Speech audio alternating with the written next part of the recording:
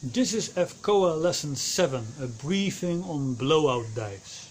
These dives are most beneficial to divers that like to get, go past 20 meters of depth in the future. Now to start with a note of caution, some instructors and organizations will advise against the practice because it takes very little depth to hurt yourself. Yet there are some great benefits as well, because regular blowout dives increase the speed of the blood shift to the lungs and the blood shift plays a big part in protecting the lungs against squeeze injuries. It'd be good to Google blood shift in freediving. Blowout dives are done most safely when when you're moving really slow. When you're holding a rope and descending just one fist at a time with no added weight on the body. The lungs are most protected when you keep your chin on your chest and your arms close to your body and not making any sudden moves. The safety diver is most effective when at eye level with the diver or even slightly below him because when something goes wrong the diver will start sinking. Blowout dives are called are also called residual volume dives or RV dives in short.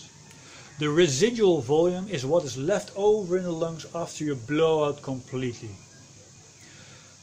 Now if you want to know what it feels like to dive down so deep that your lungs become smaller than ever before, then guess what? You can experience that sensation in just one meter of water by doing a blowout dive.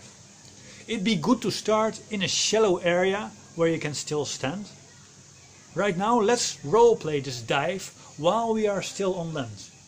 Blow out completely and make your lungs as small as possible. Now hold the dive line and let your body slowly sink to one meter of depth. Now your lungs are being squeezed smaller than ever before and it's the strangest feeling.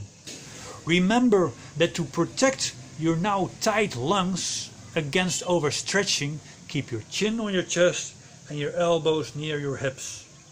Then slowly pull back up. Once you're at the surface, breathe in slowly to prevent you from gasping in unexpected waves, like this. In case a wave goes in front of my mouth, it only goes in my mouth. I'll spit it out. I will not end up with water in my lungs and coughing. So now for the first time in your life, blood shifted into your lungs into your alveoli, which are small cauliflower shaped cells where the gas exchange takes place. The membrane walls of these alveoli are covered in blood vessels and right now we made those blood vessels swell a little bit to compensate for the suction inside. As you continue your blowout practice, there are four sensations that would stop you from wanting to go deeper. The first one could be a general discomfort and tightness in the chest. Secondly, could be that you're meeting your equalizing challenge, which is great because now, even in a one meter deep pool, you can work on your equalizing techniques for deeper water. Number three, you could feel very strong contractions. See if you can stand them, or see if you can even make them go away. Will them to go away. And four, you could experience a cough reflex. When you feel the need to cough, do your best to suppress it, because you don't want to start coughing at 30 meter depths. Probably, if you can suppress the urge to cough for about 10 seconds, the urge will go away. It is important to enjoy your blowout dives. Don't push them. Don't scare yourself. No need to try and set records on blowout dives. Even if you keep them short, safe and shallow, and well within your comfort zone, you still increase the speed of the blood shift and your familiarity with those sensations you will experience at depths. Now if you really only have a 1 meter deep pool to work with, you could get the most out of your blowout dives by emptying your lungs even further after blowing out completely. You can do this by reverse packing. You kind of use your throat as a pump to pump even more air out of your lungs. Underwater you know you are doing it right if after you completely blow out you still manage to pop out air.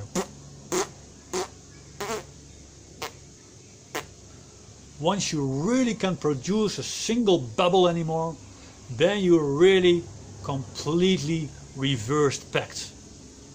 Then when you go down with this reversed packed residual volume, your equalizing challenge should be right there for you just at 1 meter depth.